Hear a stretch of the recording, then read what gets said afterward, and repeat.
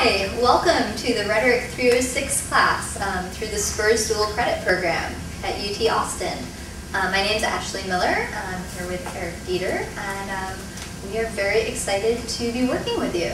Um, I'll go ahead and let Eric introduce himself to you since he is the mastermind behind everything. Great, well, not, not really the mastermind, but uh, my name is Eric Dieter. I'm the program coordinator for Spurs. Spurs is a partnership between the Division of Diversity and Community Engagement and the Department of Rhetoric and Writing. Both those divisions are on campus here, and they've worked together to offer a dual credit opportunity for high school students like yourselves.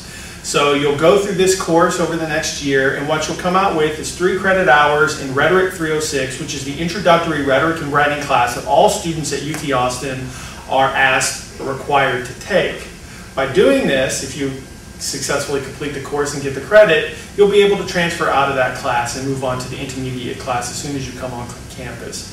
More importantly, what you're going to get, I think, are the, are the rhetorical skills, the critical skills, the communication skills, and the writing skills that you'll need to be successful at college level writing. So the things that you're doing in this class, which Ashley is going to talk about in a minute here, these are exactly the kind of things you were doing if you were sitting in a chair at UT.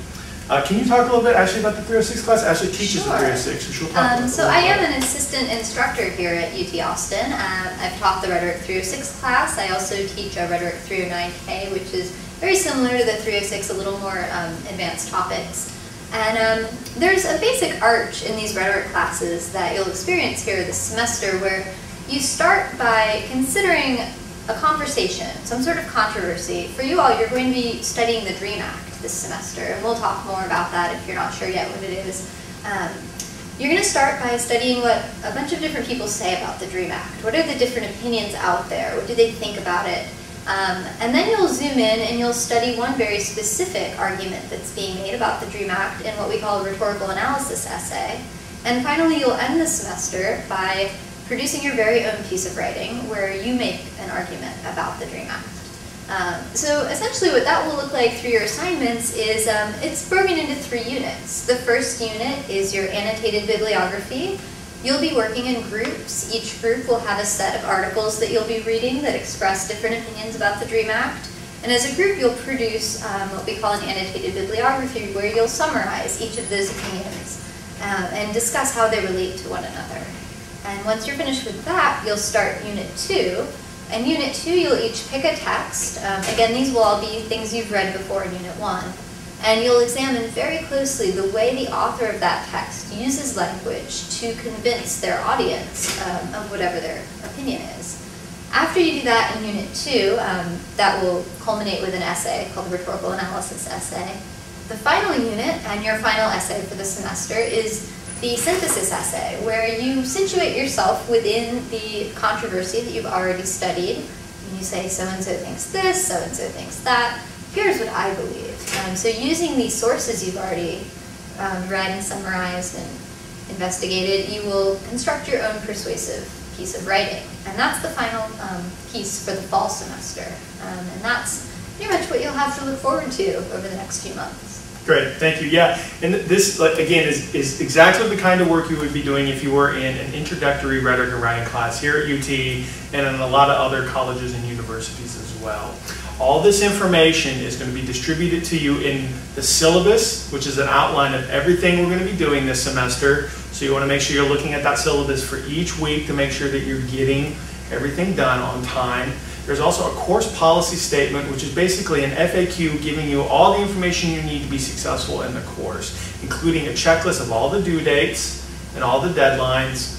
Uh, there is a breakdown of the course grade, so you'll see what each assignment that you'll be doing is worth and how the course grade in the fall will be a midterm grade. At the end of the spring, it'll be a full course grade is worth. You'll also be able to find information about absences, which is basically avoid them.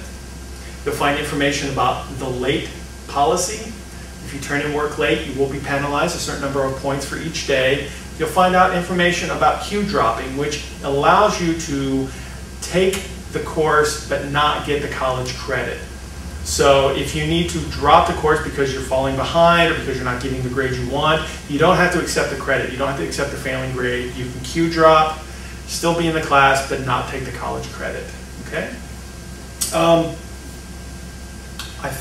that's about it in terms of what's on the policy statement. You'll want to read through it, obviously, and, and and get all that information with your And that teacher. checklist Eric pointed out with the dates, that's um, really important. You want to get yourself a, an agenda, a planner, some sort of calendar if you don't already have one, and get all those dates transcribed because there are a lot of assignments, um, and as Eric said, there are penalties for lateness, and that's an easy way to kind of stay on top of things, is to get those dates written down early. Great, great. I think the other thing we need to talk about right up front is plagiarism, which is obviously passing off words or ideas as your own when they're not your own. I think we all know what this is. I think we all know that it's a form of academic dishonesty, and I, and I think you know to avoid it. Um, the policy statement has an explicit definition of what plagiarism is, some examples, and then some discussions of the penalties, which can include failure for the assignment, failure for the course, and even if you are at UT, expulsion from the university. So plagiarism is very serious, but I think a word to the wise is to just do your own work and you'll be better off. Okay? Absolutely. Great, great. The very beginning of the semester, um, there will be some housekeeping items that we need you to do. Again, this information is going to be in the course policy statement. You're going to make sure you need to get an electronic identification, which allows you to access the websites, including the one where this video is hosted. So hopefully you've already done that. There's some uh, enrollment application paperwork that you need to fill out. That's going to be online as well. And there will also be some surveys that we'll need you to do before you get started with the semester. So a little bit of housekeeping, a little bit of reading the syllabus and policy statement, and then you're getting onto the work that Ashley just described. I guess what we want to do now is close out with a little discussion about what, what is rhetoric? What are you studying here? What do you tell your students, Ashley?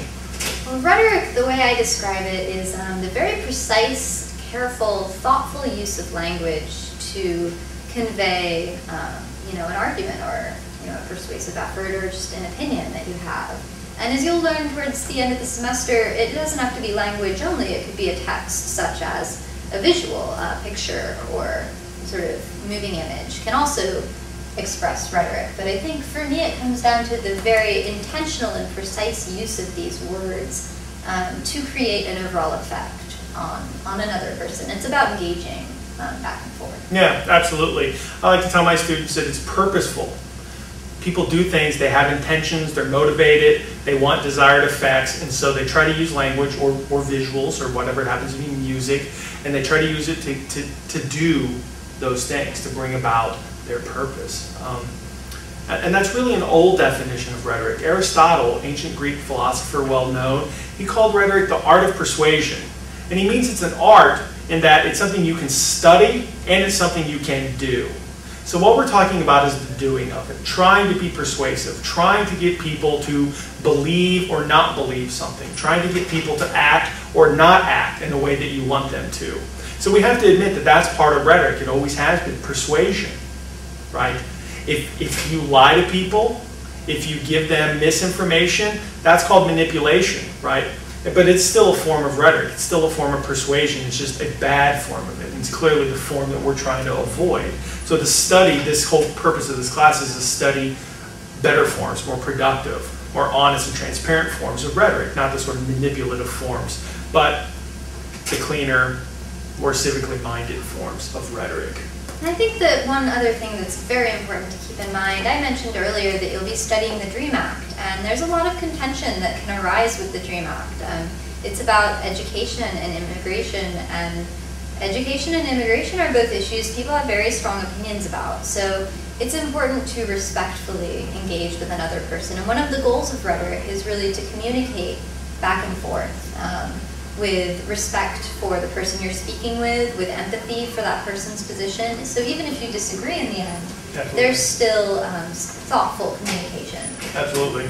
Rhetoric, when done well, doesn't really care whether or not you agree or disagree with one another. What it cares about is whether or not you've heard on each other, whether or not you've actively listened, productively listened to one another. And in fact, that's sort of what we think about rhetoric now as today, just the production of understanding and the reduction of misunderstanding, right? Again, the production of understanding and the reduction of misunderstanding. So what we mean is productive listening, hearing what other people say, admitting when they've made good points, right? Admitting that you understand what they're trying to get at, and then matching what they're saying with what you believe.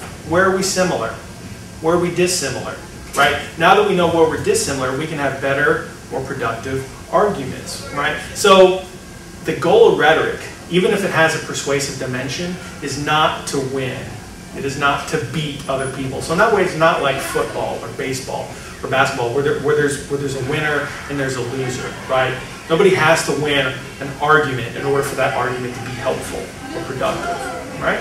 Anything else about that? Oh, I think, I think that's fantastic. Great. I'm looking forward to a great semester. We're looking forward to a great semester. Again, this is the first of many videos. Um, Ashley and I will, will be in some of these other videos. We also are going to bring in some of our colleagues and some of the department heads from the rhetoric, uh, Department of Rhetoric and Writing to do, be in these videos as well. So you're going to see a lot of faces, get a lot of expertise. We're not production experts, so these videos are going to be conversational. They're going to be informal, but they're going to be archived on the official Spurs website so that you can always access them if you need a refresher about what we're talking about. So thank you very much, and we'll see you soon. Good luck. Bye.